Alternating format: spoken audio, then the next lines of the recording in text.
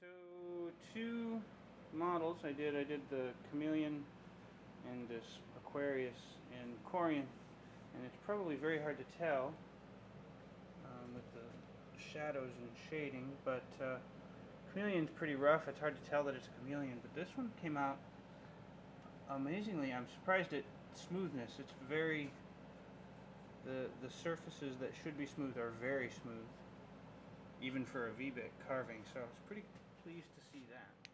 I'll throw a little light back here. The surface quality is pretty smooth compared to you know some of well this one over here is very coarse, but over here where it's supposed to be smooth is pretty smooth. I don't know if you can tell, but I figure I'll pop these off this machine and get a little light behind them and see if it helps make the or if it helps view the quality any. Um, so I'm going to be back with some light source and shot. Okay, well this is completely pitch black, but you can see the, uh, it might actually be too bright to see it all.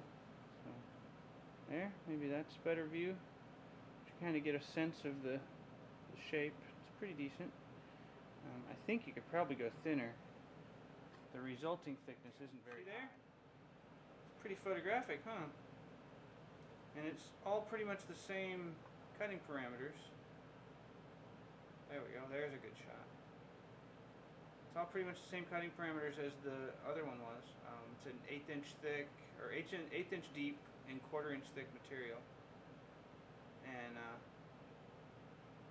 it's kind of creepy looking, it? Eighth inch deep and quarter inch thick material with the 90 degree V-bit.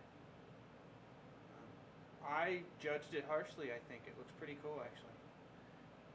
You can you can totally see the gecko, the lizard, the neither of those is chameleon. Pretty dang neat. Um, let me back to this guy here. This see if we can't get a better. See how uh, it's tough to get the whole thing into the into frame here. I'm gonna have to zoom back out, but kind of get. And this is the lights behind me, behind the panel here. And if I can get it shining just right, so you get some of it. It's pretty dang neat. And that's just Corian.